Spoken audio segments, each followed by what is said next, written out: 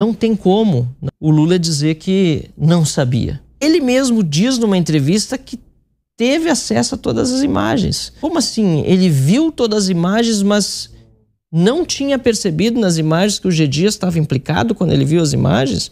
Então é muita incompetência ou muita má fé. Essas duas opções de incompetência ou má fé permeiam todo esse processo. Então eu acho a suposição legítima. É claro que as investigações vão acabar levando a, a, as conclusões corretas, mas supor, com base nas informações que nós temos agora, que o governo, pelo menos por omissão, teve, teve parte na tragédia, é absolutamente legítimo. Digo mais, né? não, não é apenas suposição. Eu afirmo, eu afirmo que o governo, sem dúvida nenhuma, foi omisso e contribuiu para que a depredação fosse maior.